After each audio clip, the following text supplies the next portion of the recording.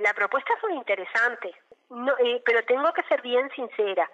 Como estamos con la conformación del presupuesto, no me he podido meter de lleno a ver en qué está esa situación, hasta dónde la Intendencia podría sumar sus esfuerzos y su coordinación para que pueda ser real. Es un lugar espectacular, entiendo que Libertad se lo merece, pero que también es, es un lugar disfrutable por todos los vecinos del departamento.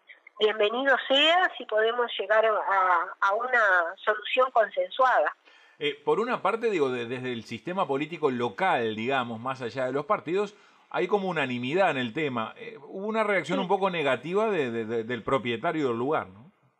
Bueno, por eso, son esos temas que hay que analizarlos este, con paciencia este, y ver qué pautas y qué propuestas de trabajo podemos hacer al respecto, obviamente basados en, en una charla mano a mano con el, con el propietario en primer lugar, antes que nada.